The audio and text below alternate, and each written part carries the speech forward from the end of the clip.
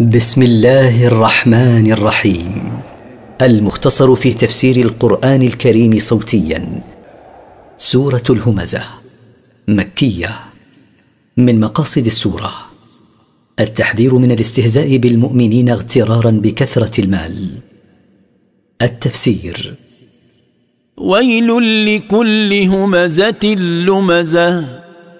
وبال وشدة عذاب لكثير الاغتياب للناس والطعن فيهم. الذي جمع مالا وعدده. الذي همه جمع المال وإحصاؤه لا هم له غير ذلك. يحسب أن ماله أخلده. يظن أن ماله الذي جمعه سينجيه من الموت فيبقى خالدا في الحياة الدنيا. كلا لينبذن في الحطمة.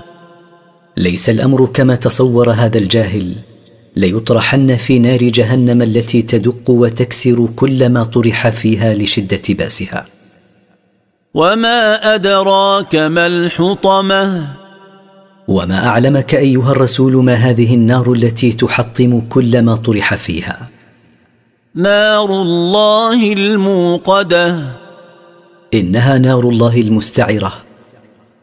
التي تطلع على الأفئدة.